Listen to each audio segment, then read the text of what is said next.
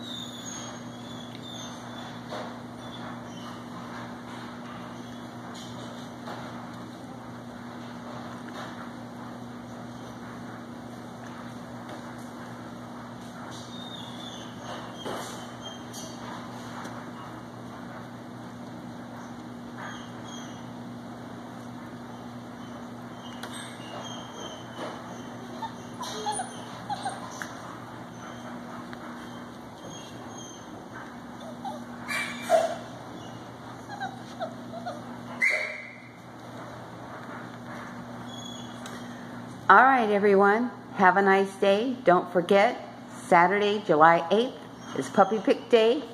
I'll be contacting you next week in regards to uh, your time for your puppy pick. Have a great day. Bye-bye.